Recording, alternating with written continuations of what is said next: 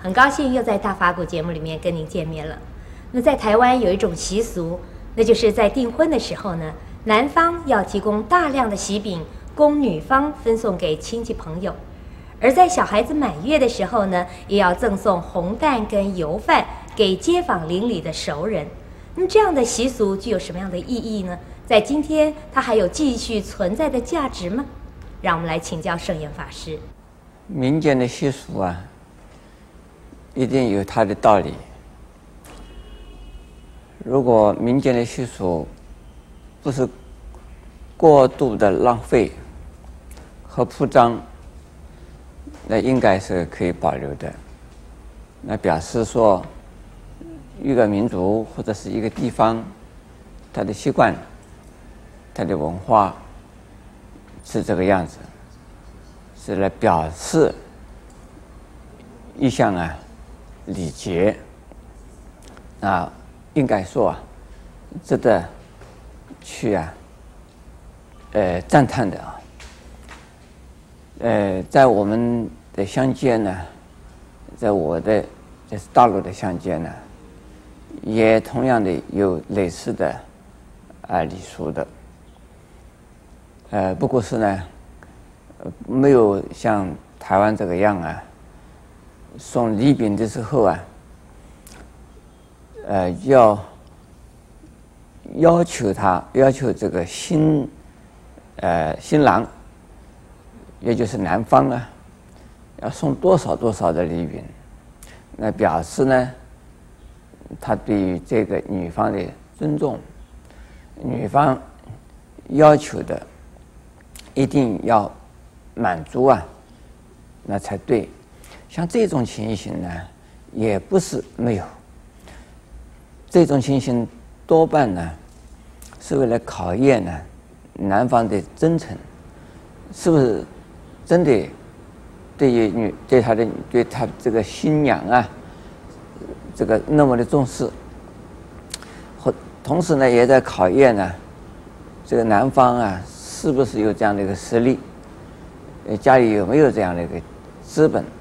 来，娶个太太呀，家里没有钱，连送一些礼品啊都有问题，那可能这个女孩子过门之后啊，就生活就有问题了。所以这一些也不能说他是怎么样子的错误啊，说不对呀。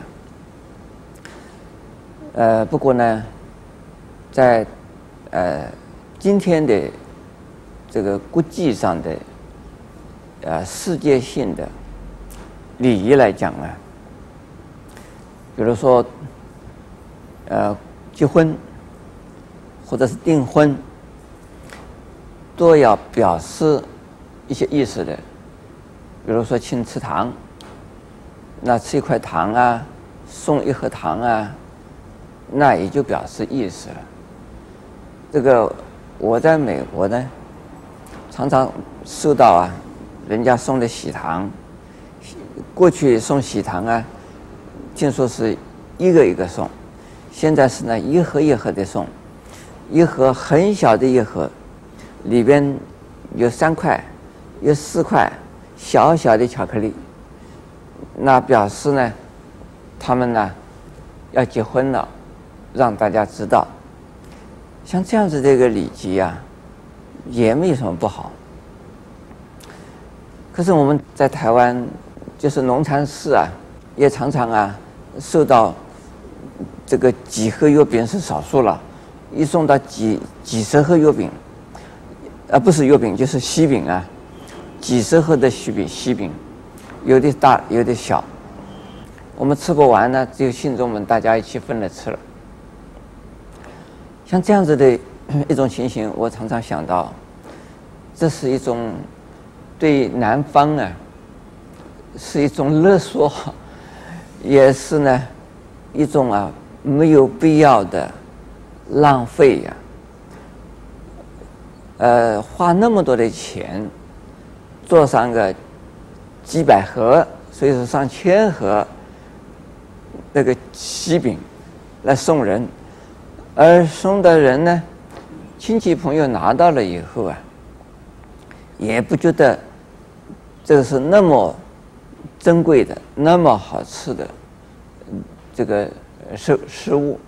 现在好吃的食物不是这些东西，好吃的食物啊，年轻的人大概到麦当劳去了哈。